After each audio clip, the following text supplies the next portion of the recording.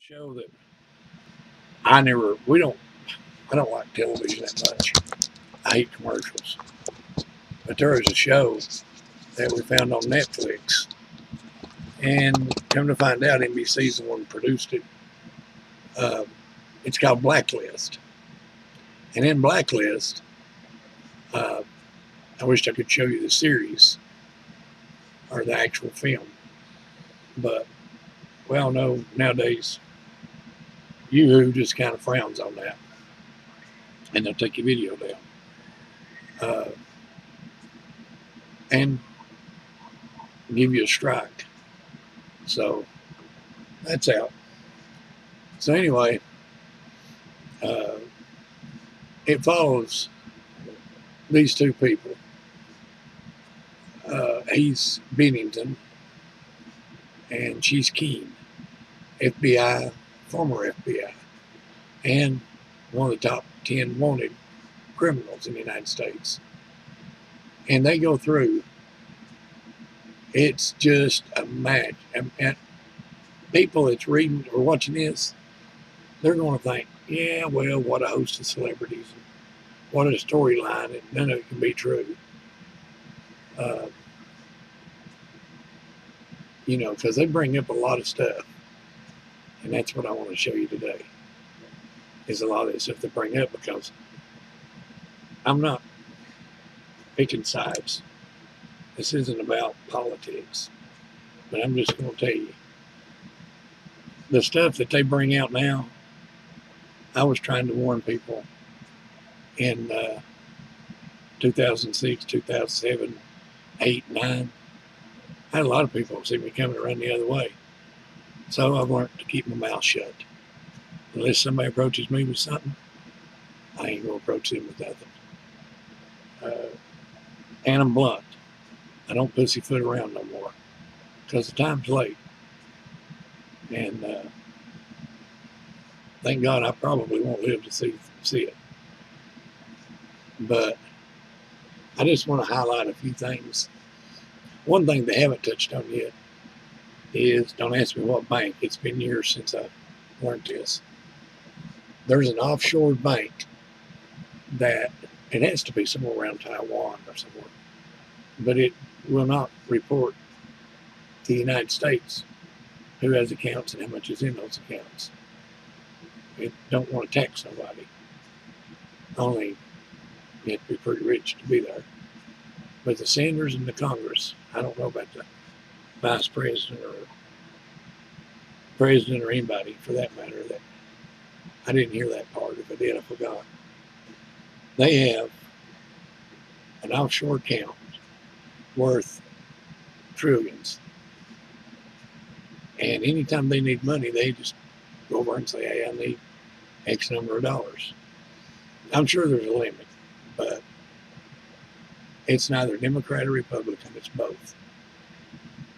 The public don't know about this. Now, maybe that's where the three trillion dollars, 3.9, 3 point, it was 3 point something trillion dollars that the military was missing.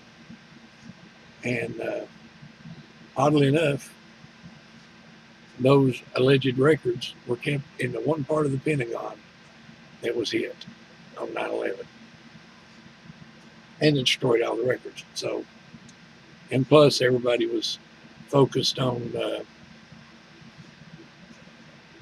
the attacks, which came from within, and uh, forgot about the three trillion. Somebody brought it up under the Trump administration, but it just come up, went out. So,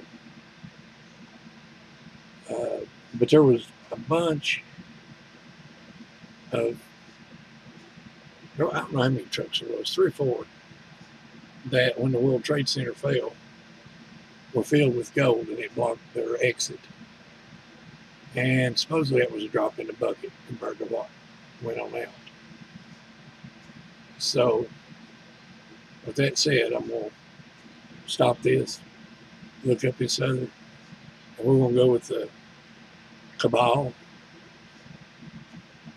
the what was the other one they called? Wasn't the deep state, but it was a shadow government. I just want to show you something. So not everything you see is a lie. There's a there's a thing. These people have to inform you. They just don't have to come straight out and say it, and they don't have to make it on like a documentary. But they do have to tell the truth at some point in time. Their agendas, etc. This term I'm not sure he used on the show. Uh, he used shadow government, but I don't know about deep state. But I think he did. I know Trump talks about the deep state. And I mean, there's more than enough proof that this exists. Uh, it's a deep state in the United States.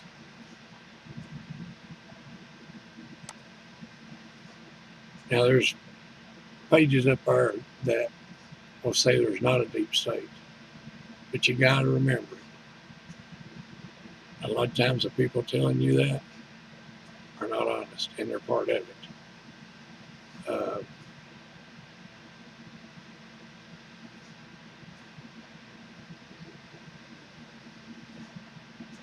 right here, the state has been one of the longest studied topics in political science, sociology, economics.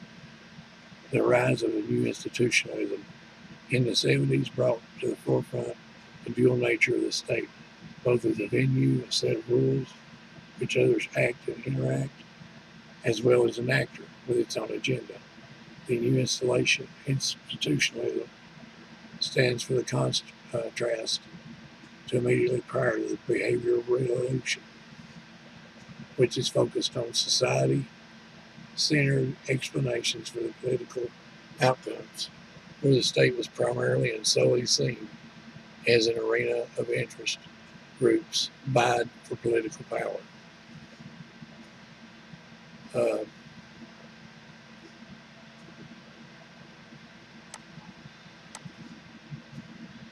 there's books on it, and if you'll notice, it's got almost five stars, four and a half stars.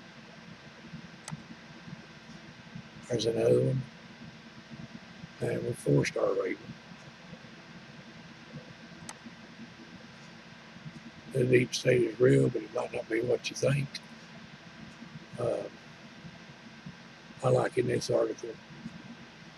Uh, also, and so after Trump fired FBI Director James Comey, admitted in June that he had relayed accounts of his bizarre interactions with the president to a friend, who is in turn shared with the New York Times reporter, former Trump campaign manager Corey. I have no idea what that is appeared on NBC and attacked Comey as part of the deep state. He's everything that's wrong in Washington.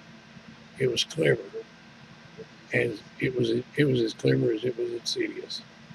Americans might be foggy about what exactly the deep state really is, but Washington knows and know they hate.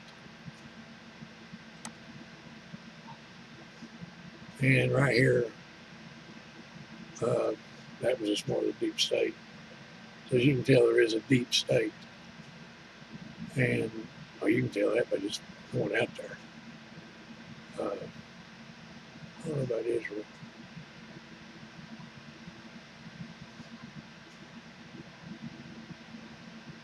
I know whenever a country flies its flag in another country, that that generally means that they've conquered.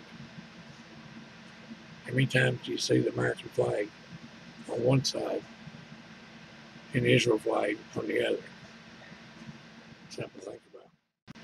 Another term for deep state is shadow government. I took a lot of heat over this years ago. But uh,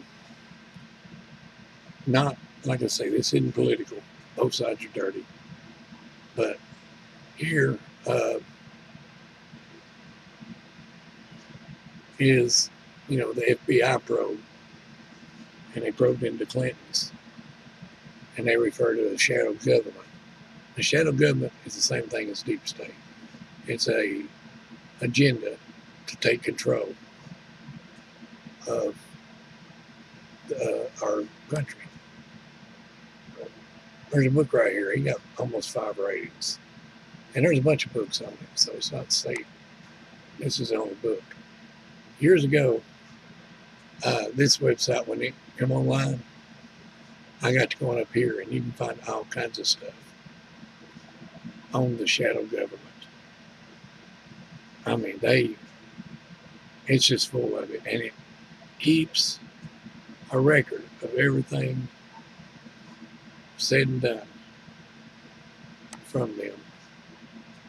Shadow government, a government in waiting that is prepared to take control in response to certain events, especially one made up of leadership and large opposition party in parliament, which would assume control should the ruling party be displaced in elections. A real conspiracy theorized body of individuals who exercise power behind the scenes instead of the country's organization, public figureheads, such as state within a state or deep state. Um, former VA secretary uh, warns about David Chukut, or his name's David Chukut, speaks out about what he calls the shadow government under Trump. So there's, I mean, there's tons of it. And I'll tell you a little, well, I'll wait till I get to that part. If not, yeah, I've already went past it.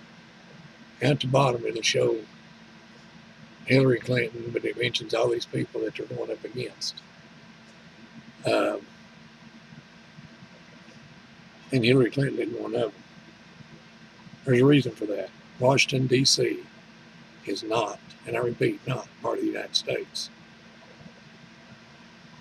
So when a senator or a congressman or a president or vice president is elected, they fall under diplomatic immunity.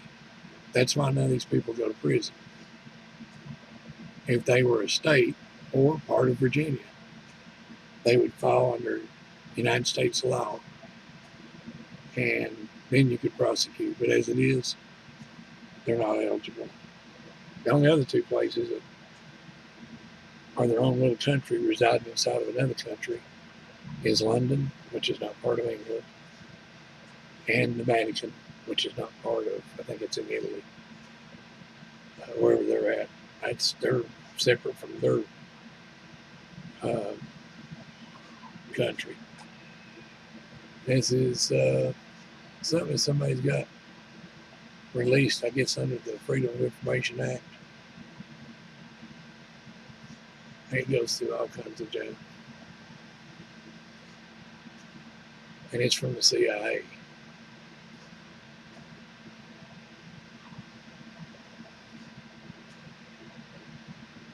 President Ford, you know what's funny? When he went in, I liked him, and I liked him for a long time, right up until I seen all the crap he did.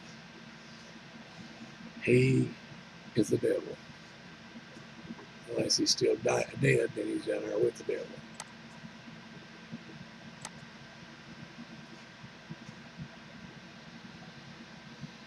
So that's that. Okay, on blacklist, uh, the shadow government's also known as a cabal. There's more than one cabal, though. There's several cabals. Uh, because you got to know what the definition of cabal is. Uh, and a cabal is a group of people united in some close design, usually to promote their own private views or interest in an ideology, state, or other community, often intrigued, and usually behest, behest, I guess, denounced to those outside their group. The use of the term usually has negative connotations, conspiracy, and secrecy. And I'm going to let you read this for yourself. Uh, that way I can't get in trouble this bunch. That right there is what you need to read.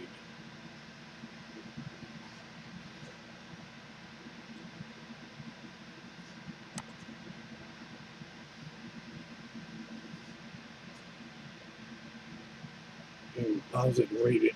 It'll teach you a lot. Now, the Kabbalah, or the Cabal, and stuff like that are also they have another name. And I'm going to let you, read this for yourself. Uh, that way I can't get in trouble as much. Right there is what you need to read.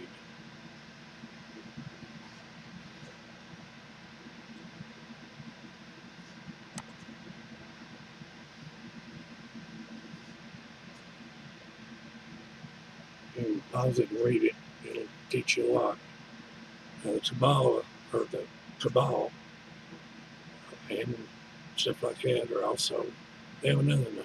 There's a plethora of information, uh, which basically is Illuminati is one of the cabals, if not the cabal, uh, that's in control.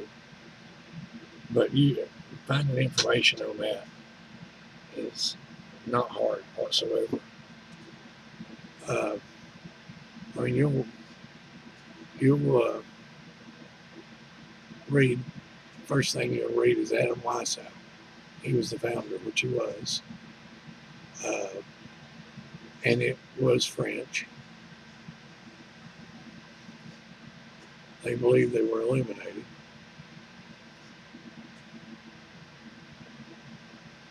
And uh,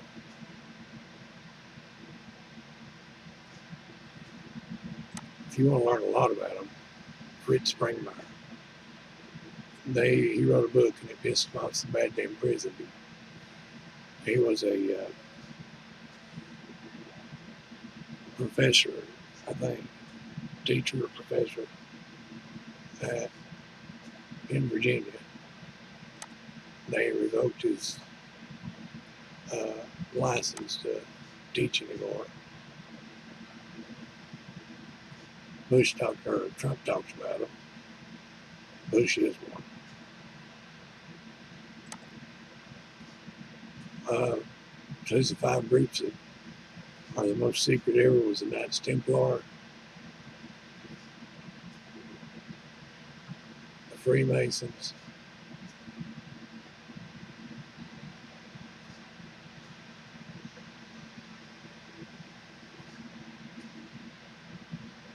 the Illuminati, Skull and Bones,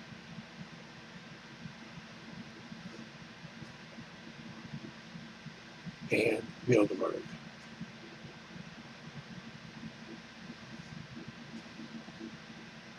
They can all be called the New World Order too. There's a book, Henry Makow, which is he's good too on Illuminati. Uh, but Fritz Springmeier, he's the one that made them mad enough to arrest him.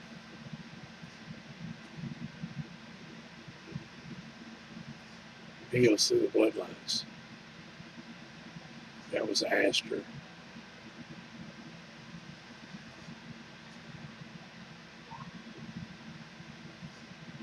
Bundy was uh, one of their bloodlines.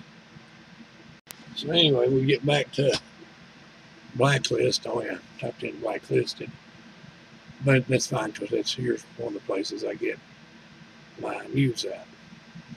Censored.news, I think, is the name of uh, the other one. I've got a direct link to it. Uh,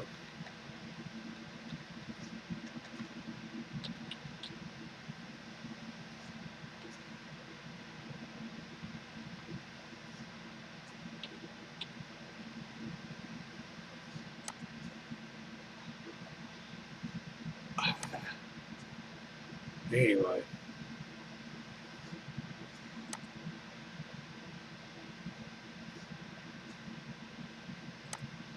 We're back to uh, Blacklist. So you should really watch that show. A lot of that crap that's going on in that show, I'm not saying that they're giving real accounts, but it really does happen. And it's real. So, see you later.